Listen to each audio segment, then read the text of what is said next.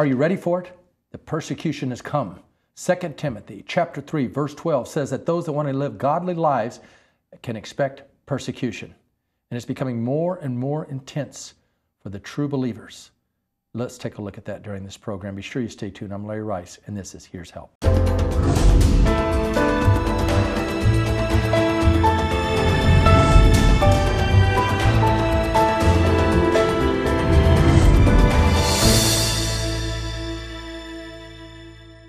True believers, those who really take God at His word, those who take serious the scriptures, those who believe in the Word of God and the mandates of Scripture when it comes to issues like justice, does not mean just us. It means letting God's light and love flow through us, standing up in the midst of the principalities and powers, helping the downtrodden, the hurting, the poor, the homeless, those fighting for the sanctity of marriage, those who are willing to stand up at such an hour like this 2 Timothy chapter 3 verse 12 says, "Yes, and all who desire to live godly in Christ Jesus will suffer persecution. But evil men and impostors will grow worse and worse, deceiving and being deceived. But you must continue in the things which you have learned and have been assured of, knowing from whom you have learned them, and that from childhood you have known the scriptures, which are able to make you wise for salvation through faith, which is in our Christ Jesus." Oh, these are difficult times. The pressure is on us. I went through depositions all day yesterday. My son Chris the day before. The attorneys for the city. The attorney for the, the, those with special interest, downtown businesses that do not want the poor and homeless in their neighborhood leveled one question after another after another. And while they were doing that, the city was plotting on how it's going to send even more inspectors in. They'd already sent an inspector after inspector. And they said a few days later, expect five more going from floor to floor, citing one thing after another after another in a building that for 43 years has been cooperating with the city. For 43 years had never had to go to any kind of uh, lo- uh, local court concerning any violation because it did whatever the inspectors asked. And now it's coming in waves, it's coming in mass. And the crime is that we refuse to stop providing a place for women being battered, beaten, bruised, and raped out on the streets, for veterans, who fought for us, and now we must be willing to fight for them. For people losing their homes by fire, for victims in every walk of life that come to us night after night. The pressure's on. Hundreds of thousands of dollars being spent by the mayoral administration to uh, have attorneys, four attorneys just working on trying to stop New Life Evangelistic Center as we prepare to go to federal trial. Yes, in September. Please pray. Please pray for an extension for that beyond the September date. The reason being is because when the judge set that very stiff schedule, he, uh, he had not added a whole another group, and that is the downtown business interests to the city. And it's it made the, the trial, uh, it's become so complicated. For example, the city now says it wants to bring all these inspectors on as witnesses when we cooperated with these inspectors all these years. And all of this. Well, the Bible says we should not be shocked, we should not be surprised because this would be happening. We got to just continue to trust God, and that's what we're doing because so many people have come to these doors, and so many people continue to come. So many hurting and homeless. Hi, my name is Lori Janey. I became homeless when my husband passed away, and our income went away. I had to quit my job because he was very, very sick. I found that uh, New Life Evangelistic is a good place to go. It has good people, and it helps you spiritually along with keeping you safe. My name is Sheila Riley, and I'm letting you know that uh, New Life has helped me out a whole lot. Not only helped me out with living here, but it's helped me out spiritually with our devotion groups every morning. We praise and we bless God and we thank Him for everything that He's done for us. Um, this, this shelter is a great shelter to be in. It only it teaches you everything that you need to know about life, about God, and about being able to survive. And it's been really, truly a blessing to me. My name is Laura Crowder, and I've been homeless since July. I've been here at Larry Rice's New Life Evangelistic Center for three different times, and I finally have got a job interview, and I'm going back to college at Harris State University. And without Larry Rice, Larry Rice's New Life, I would not be on my feet again at all. We can't leave these women out on the streets to be battered, beaten, raped, just because condominium owners, a parking lot owner next door to us wanting this property, continue to call the police every time he sees a homeless person out there, trying to continue to feed the bigotry, the hostility toward the homeless, continue to feed that bigotry till they totally convince themselves that these individuals that are desperate just want a place to lay their head, perpetuating crime when there's so much crime all over the city. In fact, the judgment of God being on a city that's trying to, to continue to hurt the hurting and homeless. We see this judgment of God with the ongoing murders, the devastation, the destruction. We're asking you to pray for the New Life Evangelistic Center. Pray for the city of St. Louis. Pray for St. Louis County. We've seen that judgment unfold during the past year in St. Louis County. There's 90 municipalities, not one single walk-in shelter. Over in Belleville, Illinois, the same is true. Collinsville, all over those communities like that. Brothers and sisters, we need to pray. All we need to do is just do what Jesus told us to do give people a place to, to, lay their head, give people an opportunity, give people a hand up, not a handout, and you'll begin to see the Lord work in them and through them. Joining me is a man that wants just that. Tell everyone your name. Uh, Eddie. Eddie, you came into our transitional housing program. Now you want to move into the leadership program. Why do you want to do that? Uh, you know, because um, for one, uh, you know, living in the streets, you know, it was a no-no for me. You, you didn't know, want to live in the streets. Have you ever no. slept outside before? No. You hadn't. So no. you came to New Life Evangelistic Center. How is this offering you hope and help at this time? Uh, because uh, for one, I didn't know when I came in, it's offering uh, spiritual guidance, you know, and um, it's helping me to uh, better myself, you know, be more responsible, you know, and uh, helping me, you know, to get a place to stay. New Life know. Evangelistic Center is a church.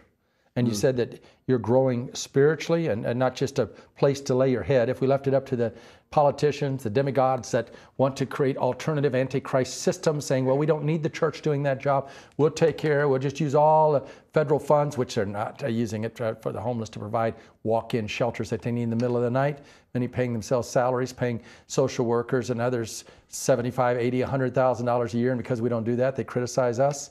We just want to do the work of Jesus. We're a church here, and Jesus tells his church, When I was hungry, did you feed me? Naked, did you clothe me? Sick or in prison, visit me? A stranger, yes, a stranger, a homeless, did you welcome me as oft you've done to the least of these? He said, Even so, you've done it unto me. That's what Jesus told us to do. And we thank God for those that are doing just that. Yes, New Life Evangelistic Center is a church, a church desiring to live out the gospel of our Lord and Savior Jesus Christ. And, and Eddie, have you been growing in Jesus while you've been here? Yes, I have, you know, because we got uh, continual church and Bible study every day, you know, we're learning more and more. Now you want to get in the leadership program. Why do you want to do that?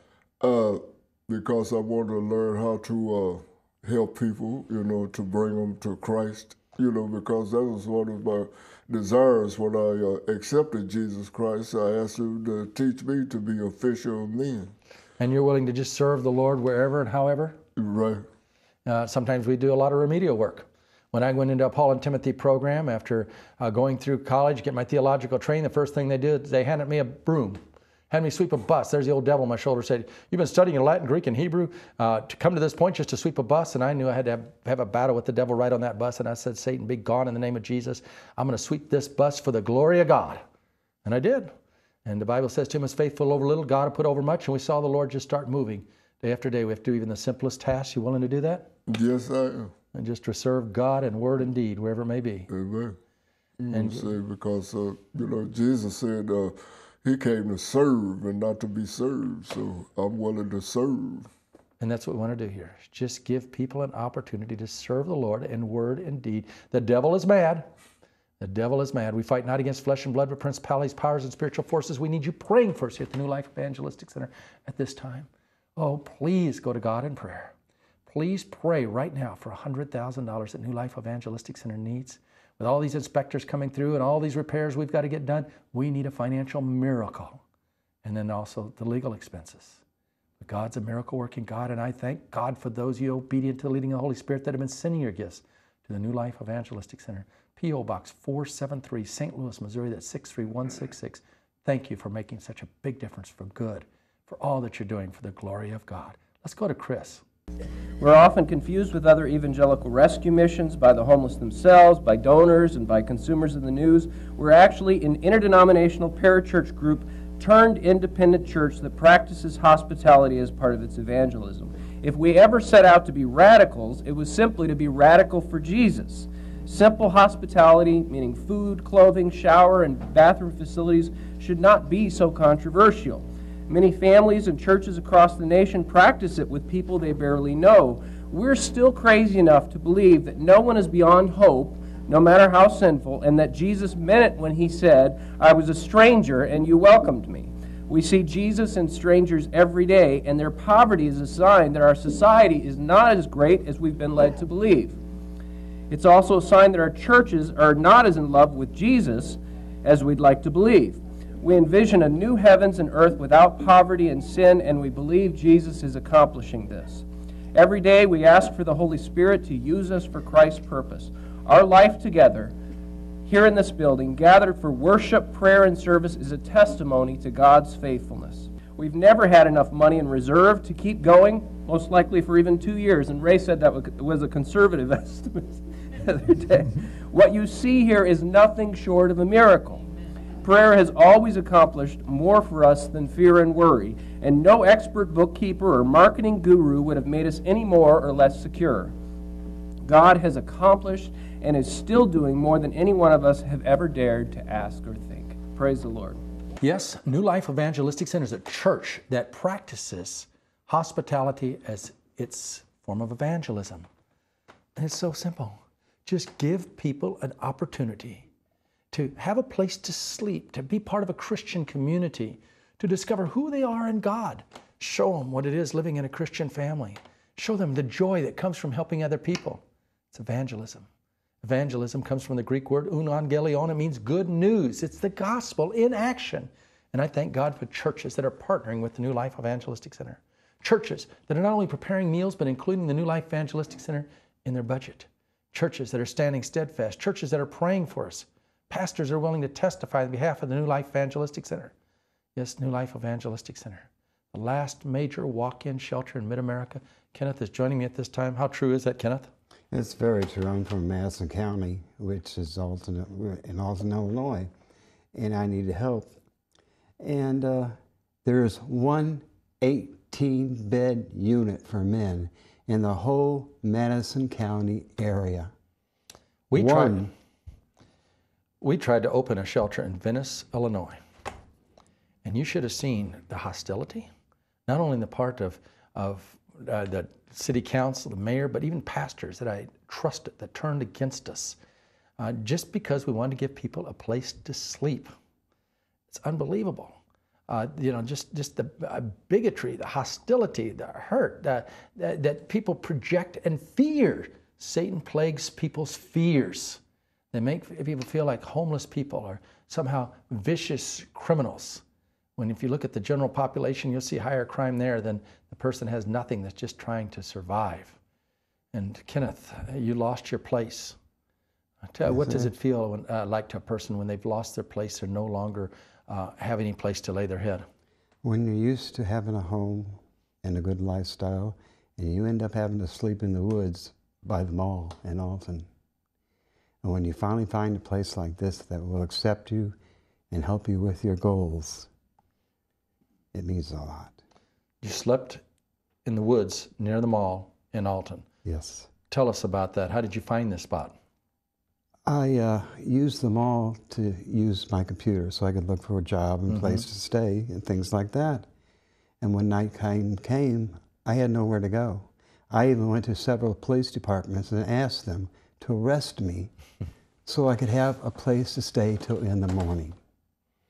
And it was such a shame, as I'm sure you well know, they push people. Edwardsville, Alton, East Alton, Wood River, Cahokia even, they push people to your place. Okay, tell me how they push people. They transport you. They send you by cab. I volunteer nights here, as you know, okay. before I go to my job. Cab, police constantly are dropping people off to your doorsteps. And you know, that's what the neighbors are using. That's when I went through the interrogation, that they would try to um, uh, use it. Uh, they figure, well, if we just shut down New Life Evangelistic Center, they won't be able to do that anymore and leave them out there. And, that, and that's now we're in this big battle with the city of St. Louis. Okay, but uh, tell me about individual police departments. Has some of them done that to you? Some of them offered that to you? Some of you told you to do that? One took me to the Metrolink and told me how to get here. That's what he did. Okay, you were sleeping in the woods. How long did you do that? Three days. Three days. And uh, did, how'd you find the spot? There was a little path in the woods where I knew no cars would see me, mm-hmm. and I had my backpack and I had an air mattress. Did anybody and bother you back there? Bugs. Bugs. So there, was there the path because other homeless had gone down that path yes, and slept in that I area? noticed that. Yes, that I did. You could, you, there's a lot of there's a lot showing that other homeless had lived there. People seem to find a way where no one can see them, mm-hmm. so they can feel so safe. how did you end up in this situation? My landlord had sold the home, and I could not afford it any longer. And uh, I've had a uh, liver implant, so I had a lot of health issues, which cost me a whole lot of money. And believe me, Medicare and Medicaid does not provide the needs. And you found yourself homeless? Yes, I did. What, what, what do you say to the thousands of people that are listening that have never shared a dime with the New Life Evangelistic Center, that have never come to the realization that this literally is the last place, Salvation Army they can't walk into like they used to anymore, uh, the rescue missions they can't, even long-term places that we're helping like Shalom House that is helping 50 mentally ill women over the time period, that's being closed down uh, at this time. Uh, what do you say to people? Like if they find themselves in a situation like you did, are their, are their children do, and they don't rise at, up at this particular moment and pray for New Life Evangelistic Center and send a major gift, financial gift, so we can make the repairs in this building that the city's trying to say needs to be made, and, and we can pay the legal bills.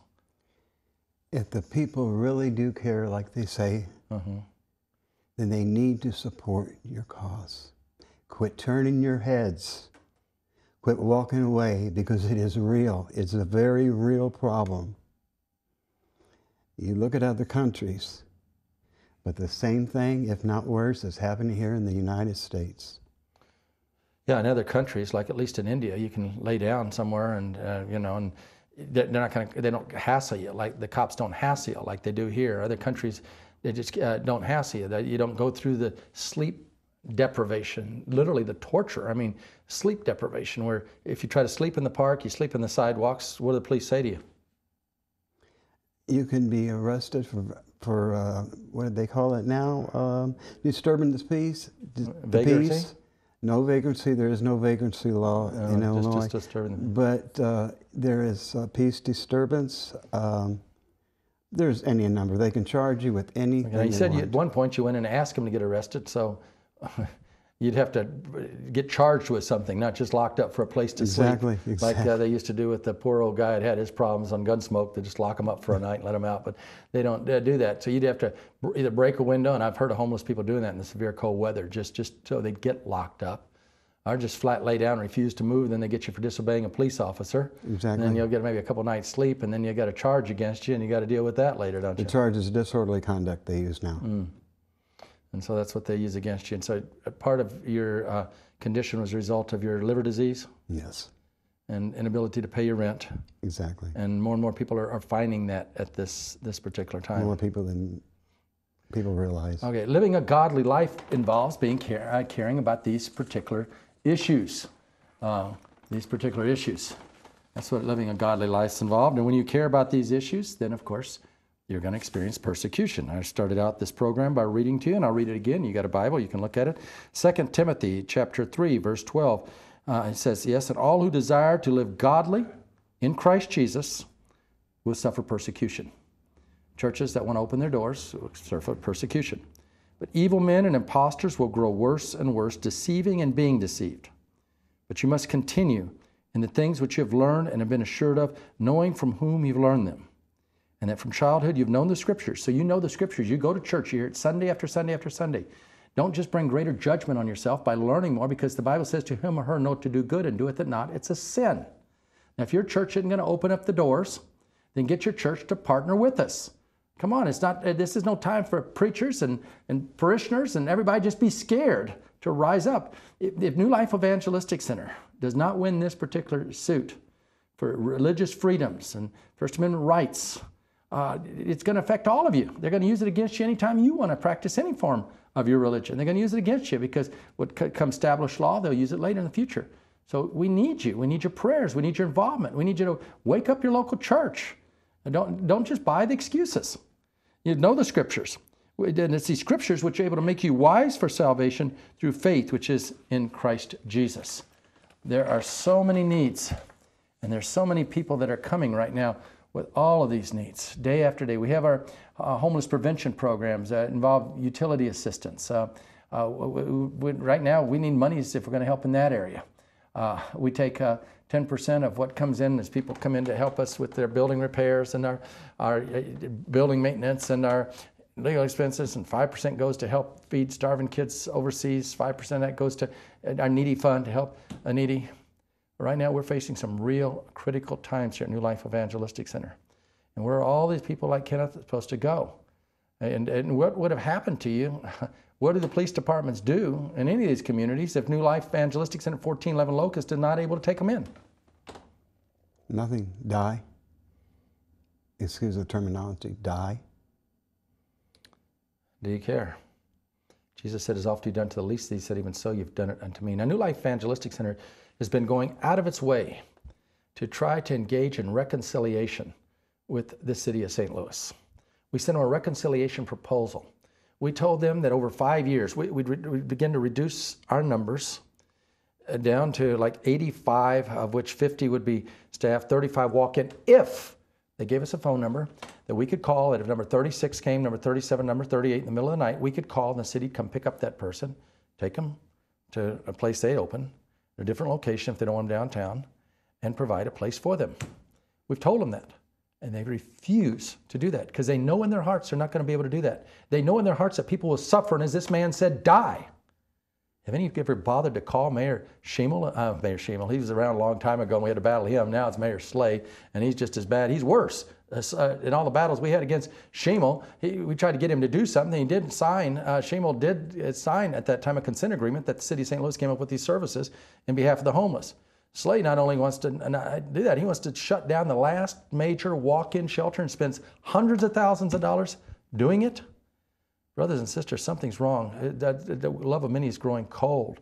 The hostility, the bitterness, the hatred that folks that have all kind of feel towards the hurting and homeless. Uh, it's, it's sick. It's sad.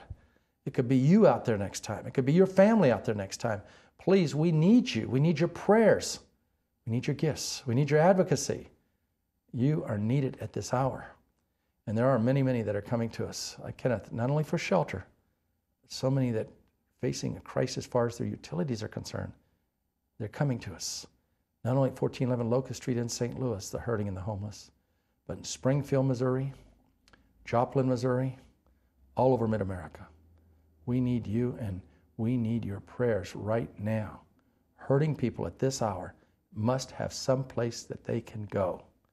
And we're asking you to please help us as we work to continue to be there when people are hurting. Let's go back to Chris. Hello, tell, tell people your first name. Jamise Stewart.